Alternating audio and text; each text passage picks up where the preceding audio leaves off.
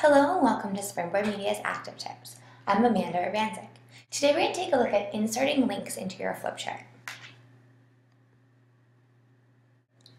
Let's take a look at inserting a link right into our flip chart. So I have this website that I want to add into this page. I can copy this link and go back into ActivInspire. I'm going to click on Insert Link Website. I'm going to paste that link in. Now I have four different options. I can make this just show up as text.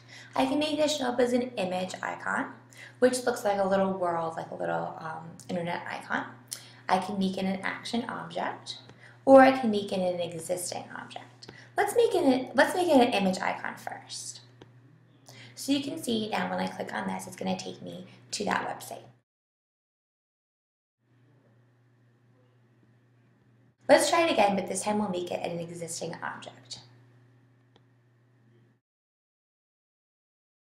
When I click on existing object, I can click on these three dots and it'll show me everything on the page. I'm going to make it this atom. When I click on the atom, it will also take me to the website. Thanks for watching today's ActivTip.